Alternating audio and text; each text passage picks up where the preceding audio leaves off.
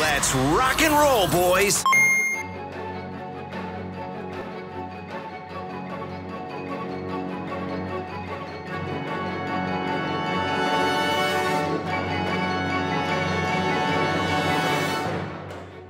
Hi, everyone, and welcome to another Nintendo podcast. I'm Matt Schultz. I'm hosting today, and I'm joined by none other than Austin Cummings Hey, Matt. And a great, good old friend and friend of the show, Jordan Weiner. Hey, Matt. Jordan is um, a good friend of mine from grad school and uh, also a big Nintendo fan um, of old and new. What's your like Nintendo? I don't know, like what's your Nintendo history lineage? What? How did you find yourself into the wonderful world of, uh, of Mario? So, I had the privilege of having a dad who was a huge video gamer. So, growing up, we had every possible game system. We even had a Dreamcast. We were definitely a big All video game household. Um, so, that's how I got introduced to Nintendo. Um, growing up, watching my dad play everything on the N64 and then playing myself. Um, Paper Mario on the N64 was the first game I ever beat by myself, which was a big win for me. Um, and I grew up reading like the Ocarina of Time Player's Guide as like a Mm. fun thing to read before bed. I was just super into the lore of Zelda. Um, so would definitely consider myself a, a big Nintendo fan, and um, particularly Zelda which is uh, one of my preferred uh, franchises. Yeah, I love Zelda. He's a powerful boy. Jordan, I have a ser- uh, similar story for myself. I also, uh, my father growing up, um, he's very into rugby. The um, but yes, that does sound nice. Also, to have a Dreamcast, that's amazing, and to have the your, the VMU, you might recall the, that little that little uh, memory card ish screen. Oh, yeah, the like Yeah. popping the controller. Yeah, it was like a little Tamagotchi. but Yeah. you, so you could raise like your chows from Sonic. Exactly. Oh, You can take them in and out. It's kind of the original Switch in a lot of ways. Kind of the progenitor, That's I'm true. sure. You know, you take it on the go. You put it, snap it in there. This Raise the controller does Chao. nothing, but I can at least see the screen. Can we talk about the Chao for a minute? Did you play Sonic Adventure 2 where you I raised your did. Chao? Of Or is that also course. on You- yeah, Sega? uh, Adventure 2 Battle. That it was, on the Dreamcast as well, but GameCube. also it was on on GameCube. Both. Yeah, Yeah, the, the battle. You could raise them in that on little GameCube, area. And you could like kind of. F- you could, yeah, exactly. Exactly, There were and be, multiple like, areas, dark. Matt. oh yeah, there were the dark yeah, ones. exactly. Jordan's onto it. There's like the dark realm and the heaven realm and like the normie realm, um, which is kind of where I did my best work. The um, you could like feed them the animals too, and they would like kind of morph. they Oh, would kind of yeah. animorph partially into that. you recall? Gosh. I That was dude, hot. that is coming back to me now. Yeah. I know it's a lot. It's a lot to take in. We'll pause the podcast here for a minute. We can all kind of soak on that. Um, but yes, no, that Jordan, it's great to have you here. Thank you for joining this show. I know it's a lot of pressure. The uh, you know the the threat of stardom, stakes uh, are and high. fame, but being on You're the on podcast. and- yeah, exactly. So don't, so don't don't even worry about that one bit uh, here. So, Yeah. I won't let it go to my head. Very good. Yeah, stay humble out there. That's one of our mottos for the show. Uh, snappy and quick and humble. Yeah, so yeah, so first before we jump into a little Zelda talk, because we've all all of us have played it enough. Both Jordan and I have beat it, but does anyone have a Oh, big shame me like topic? yes, Don't- only just two of us. yeah, Austin bought it. Uh, Austin, you have any other anything else you want to talk about prior to? Yeah, some other things I purchased. Okay, so quick th- other games we've been Yeah. playing in the world of the big N. So, um, by viewers of the video YouTube uh, podcast will be able to tell right away. I've been playing Ring Fit Adventure, whole new me. Um, yeah, you look at. but I have been playing that. And also, as someone who played very briefly uh, Wii Fit, which is to say, owned it uh, for the Wii U, in fact, and it had also a little Tamagotchi-ish the pedometer, and uh, it's awesome. Like it's much more involved than Wii Fit as far as just like a personal exercise tool, and the um, the story is like totally cute. The enemy design is clever and funny in the same way that it feels a little bit like Dragon Quest ish, or Dragon Quest. Many of the enemies, their names are little puns uh, that are that are cute. And in the case of this, uh, ma- many of the enemies are exercise equipment that have a- that are animated Which is the in worst way, exercise equipment? and um, like kettlebells and things like that. Uh, I can tell you what's the worst: squats, just normal old squats. And also, and you have to beat uh, like World Two before you unlock like type advantages. And before you get that far, I'll tell you like so I started this game thinking I was just a just a big old champ. I and I was like I want the challenge of an exercise and maybe I can maybe I can do some slightly harder difficulty. But as it turned out, it was in fact uh, very hard, and I was totally sweating. Uh, like in- intensely, and many of the exercises you do, the attacks you perform, you do a squat to perform the attack against a basic enemy, but you squat like 25 times or whatever for like one attack, and you might be attacking a lot just to fight a normal enemy. So you'll end up doing like a lot Of the same, so many reps. Yeah. Well, you have different moves and they have to recharge, so you have to introduce some variety. Uh, I'm amazed by how well the Joy-Con work. Like it, it I've only had to recalibrate it a couple of times, and largely it feels like it's tracking everything authentically.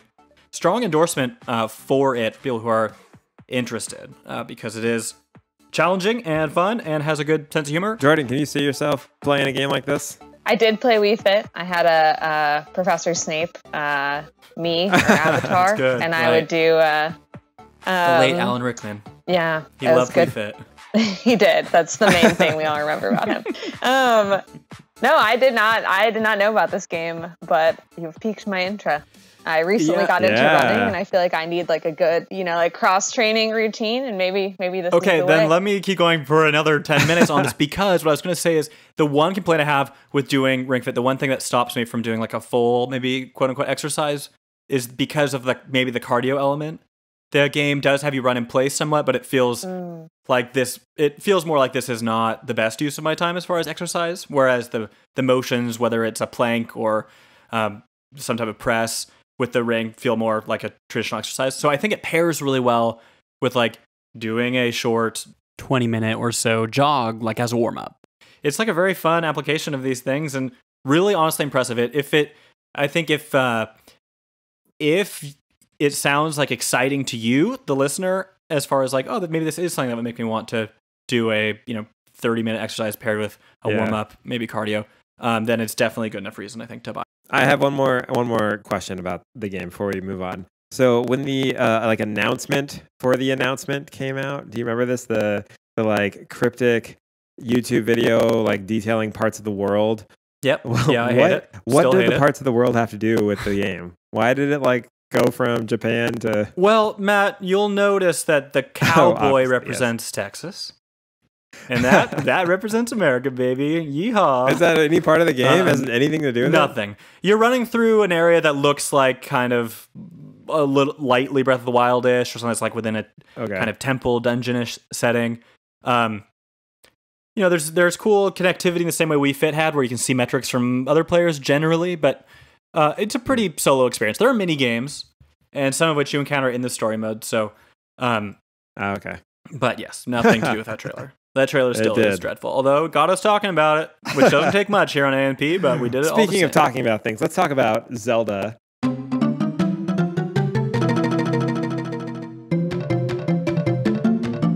Link's Awakening for a final time.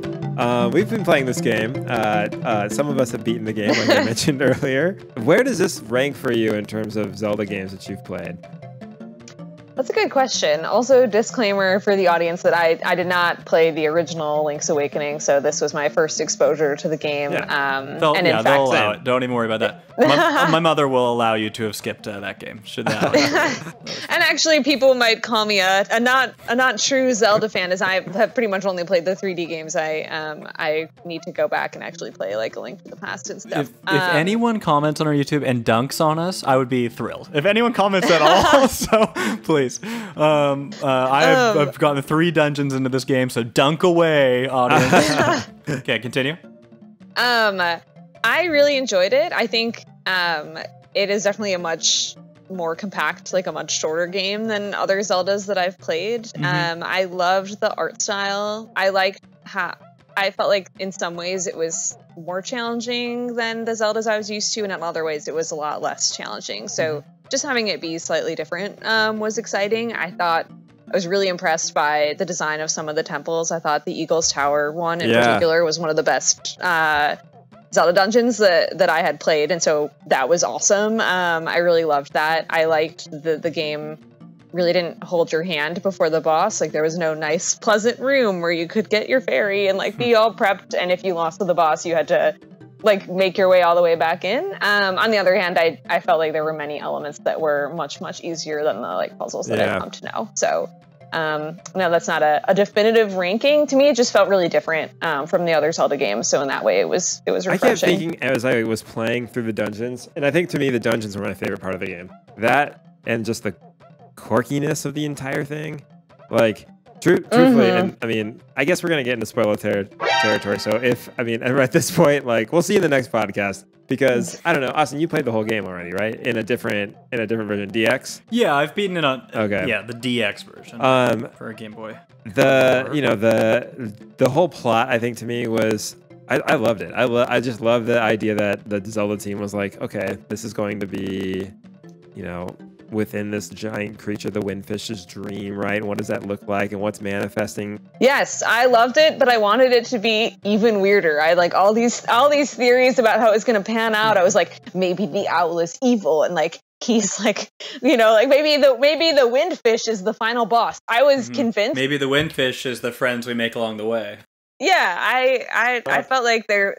I was like slightly more. There could have Mhm. been. Um, when you go into the the egg at the end, that was so creepy that I was like ready for the game to just go all the way, and then it didn't. It didn't quite go all the way, but it was so weird compared. to i think i think games similarly that the the was- dungeons awesome. were Yeah. uh, what i was saying is like i going throughout the game i kept thinking god whoever played this on the original system and then on the dx like this is a like this is hard this is like this would be a hard game it definitely got it got easier and i think because it was easy from the start it made it much easier throughout the rest of the game um, similar to breath of the wild and, and some of the criticism around that where like it's brutally hard when you first start and you've got nothing and you're just trying to survive and you're just trying to avoid any sh- like sharp object or like enemy Mhm. projectile at all costs because you have literally uh, half a heart left.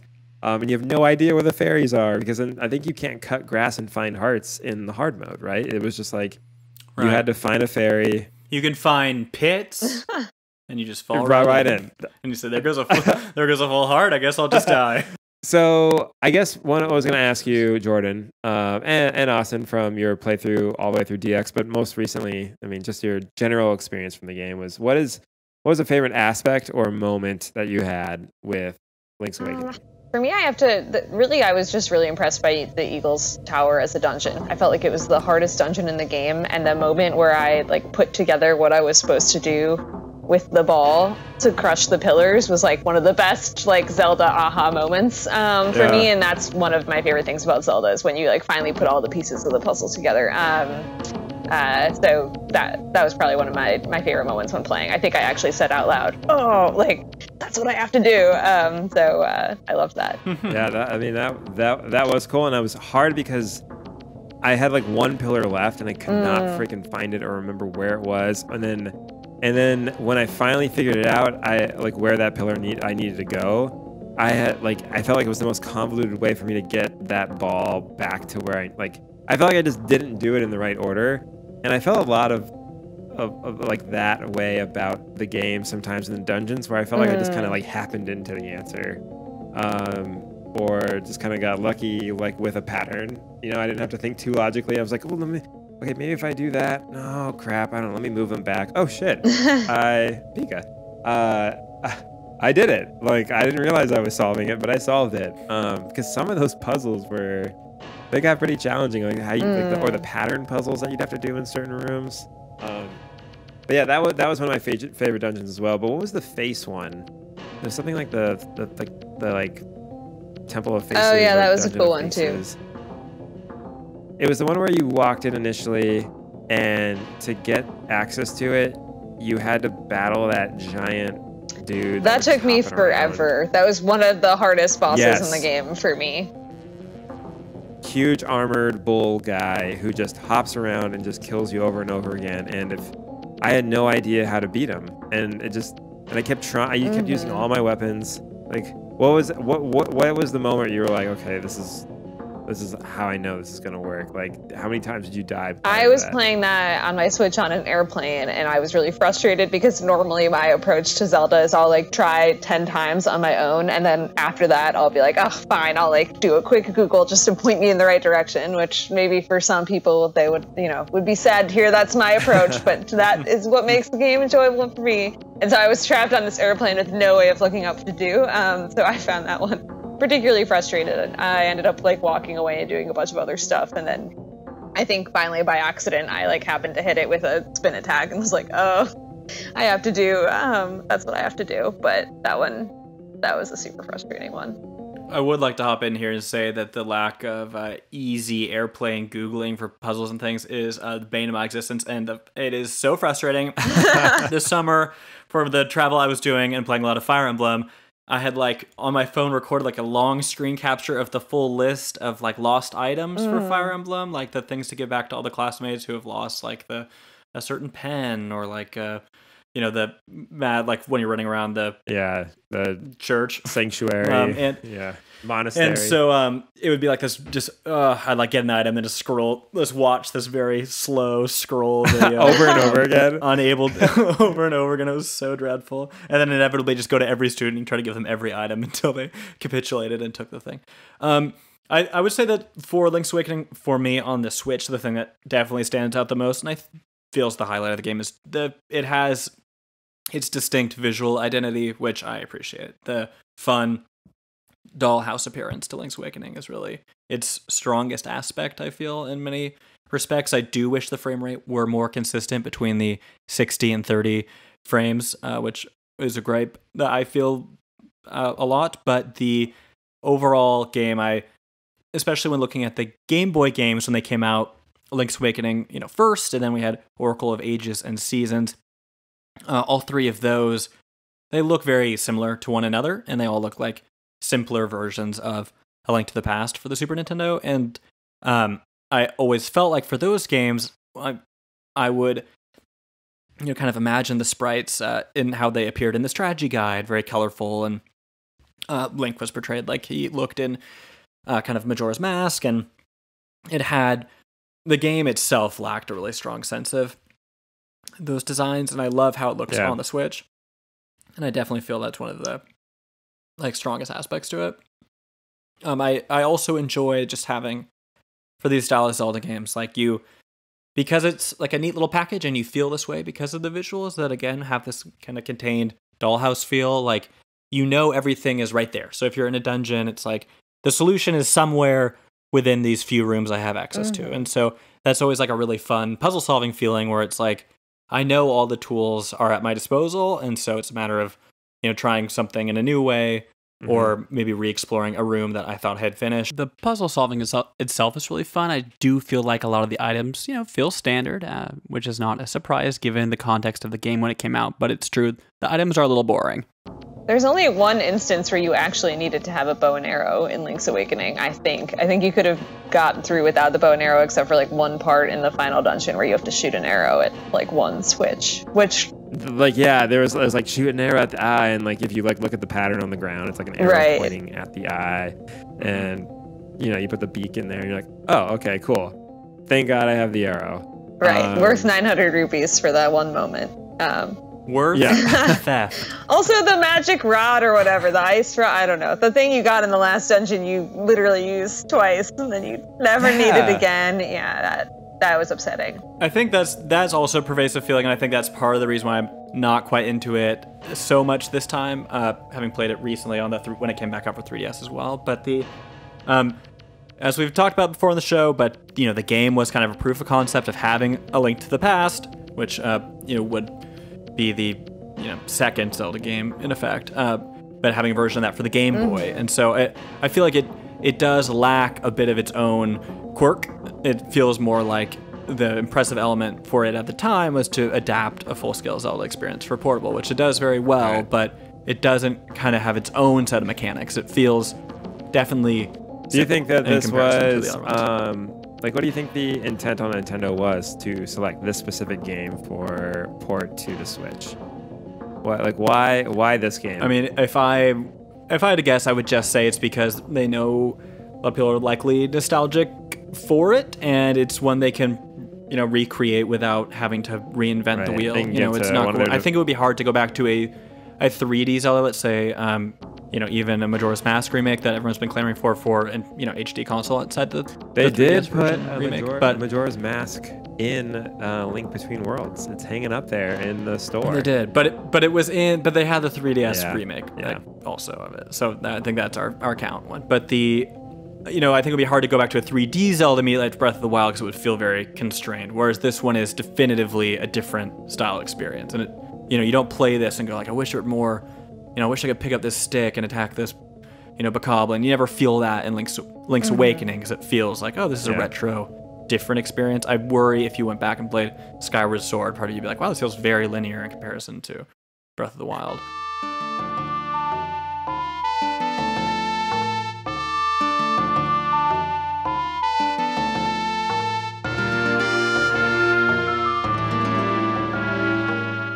Thought what might be a fun game to end the segment would be to compare it to two other Zelda games. So saying like Link's to rank it somewhat. Like for me personally, Link's Awakening, I would say it's better than a. I'm gonna go kind of hot take on this. Spirit Tracks. Um, well, no, Spirit Tracks is better. I think that it's better than a Phantom Hourglass, but it's okay. honestly, I would. Well, big picture, I'm going to say it's better than a Twilight Princess. It's not as good as a Phantom Hourglass, and the reason why I feel this way is just because um, Interesting. even though Phantom Hourglass particularly has its own you know set of quirks, uh, it invents in a different way with the touchscreen controls and the puzzles that come, uh, you know, henceforth. And Twilight Princess is a very long Zelda game that doesn't really do a lot new. I think this is probably if I had to revisit one, I would certainly play Link's Awakening again, even though I like Twilight Princess and I've played it through twice. Um, Including HD, the HD remake. yeah, which is like barely HD. It looks so terrible. I mean, it's HD in It terms of age well, resolution, but it just is like needs that game needs a whole new, non-muddy looking art direction. But the uh, that game needs a no yeah. more hour and a half long like intro sequence. it's so slow, so long that farm, Ordon Ranch or whatever it is. You're there forever. Those damn Rams. Jordan, how would you rank this in your console Ooh. console Zelda games? That's so tough bad. because I truly feel like this one is so different. Like there are many things that I love about Twilight Princess and many things that frustrated me, but that's such like a longer, more involved game uh, that I like feel For weird sure. comparing it. Um, and so I don't know. I think I have a, I just have a really hard time placing this one because it just to me feels like such a different experience. This was like a like a light, fun, like very compact um, experience um, compared to like what I typically expect to get out of a Zelda game. Um, so I'm not sure. To me, it's like sort of in its own its own little uh, category, just based on the Zelda games that Yeah. I've played. Yeah, it definitely feels like uh like a spin-off special of your favorite TV show.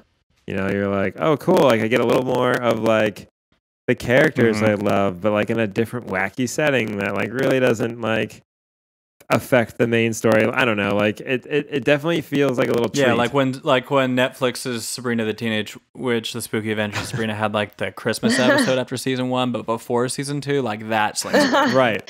It's the Wookiee Christmas special in Star Wars. like, what? Mhm, Well, yeah, I didn't need to know about Chewbacca's family at all, but here we go. Mhm. Um, but now you'll never forget. th- and I think that yeah, to me, go it's, for it. oh sorry. no, go no, you got it. Oh no. to me it's like like I love to pick up Wind Waker every once in a while and just play for like a couple hours and like beat Dragon Roost and like have my like fun with it because Mm-hmm. it's pretty non-stressful. I can just like uh, make my way through it and um uh and it's like so fun and like bright. Uh to me this game like fulfills Yeah. a really similar purpose. Like it's like engaging, it's fun, it's like not super stressful. Um uh, that's a different experience than if I'm looking for like a Breath of the Wild, like very involved um, Zelda Yeah. experience. No, it definitely the commitment is very different, and and and I feel like in a lot of positive ways. I think what I again back to Twilight Princess, that game is good. It's a different experience, but it is also kind of uh, it's you know. It's it's Yeah. more of a slog certainly in that uh, in this in the scale and the the pace for a long portion of the game.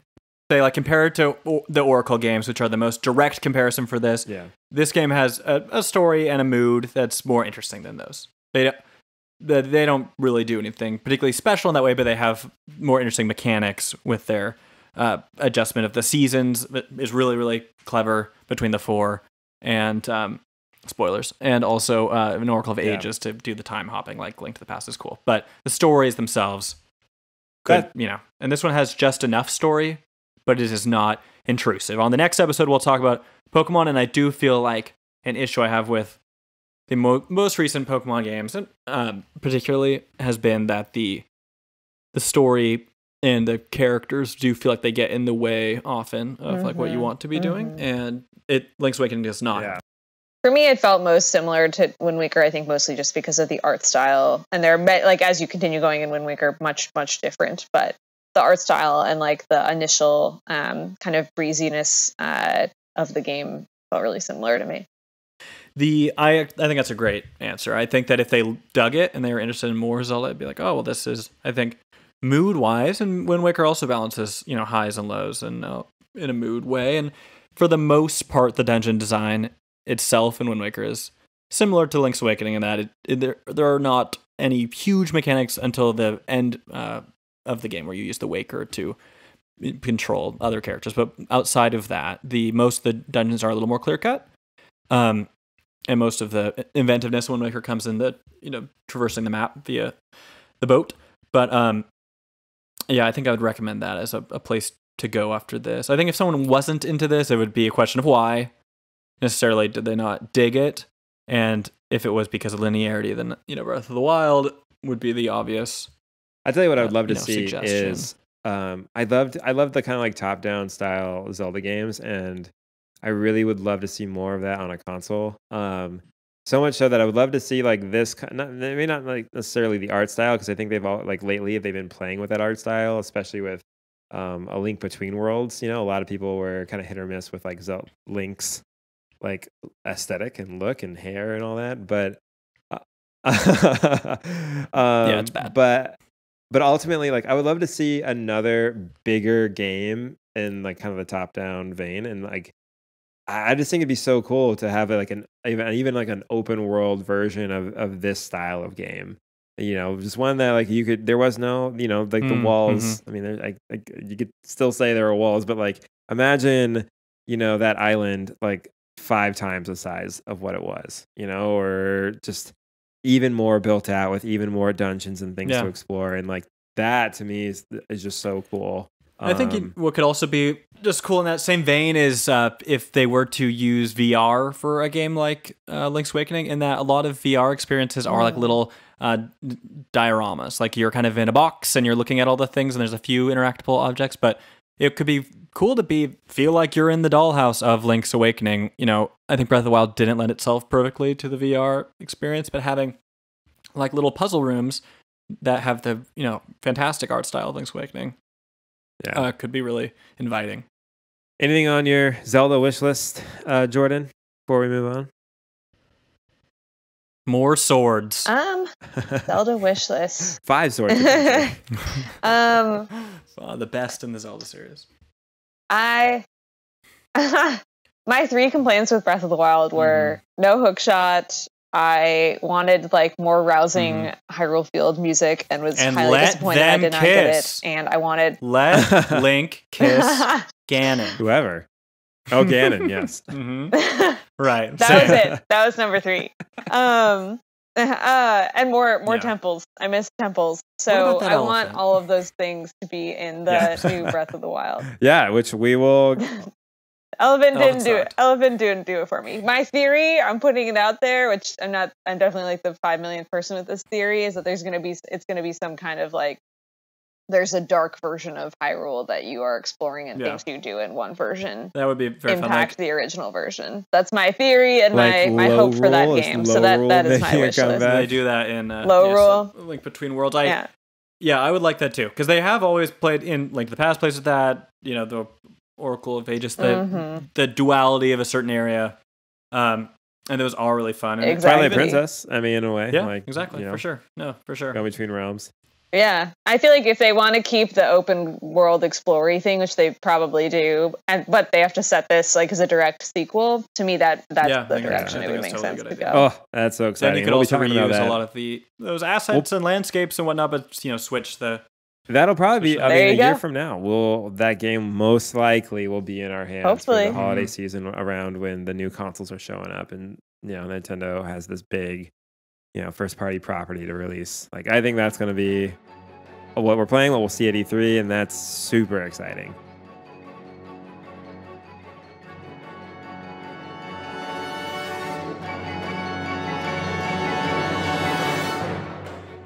Thank you for listening to another Nintendo podcast. Please check out the description where you can find a link to our YouTube channel. Or uh, please check out the links to the various podcast services of your choosing. And if you like the show, uh, tell you what, if you like the show, don't tell anyone about it. This is just our special thing now, just you and me, buddy. Check back in uh, each week to hear us sound off on the big N, such as the next episode where we'll talk all about those pocket monsters. What's the deal with that Pikachu? Stay tuned.